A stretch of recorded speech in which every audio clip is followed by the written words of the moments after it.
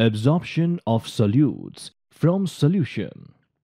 Imagine a glass of water kept on a table and a bowl full of sugar cubes besides it. The aim is to make a colorless solution of water and sugar. To make a solution, the sugar cube is dropped into the glass of water. The sugar cube starts getting dissolved into the liquid. Now, the solution is the mixture of solute plus solvent. Here, the solute is the sugar and the solvent is the water. The outcome solution is sugar water appears to be pale yellow in color. To adsorb the coloring matter present in sugar solution, activated charcoal, which is also called as activated carbon, is added into the solution to make it colorless.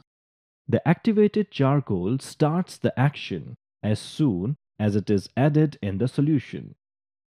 The atoms of the charcoal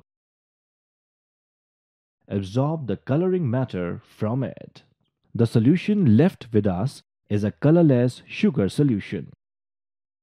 Other examples of the adsorption of the solutes by activated charcoal include adsorbing out certain acids like acetic acid and oxalic acid present in water.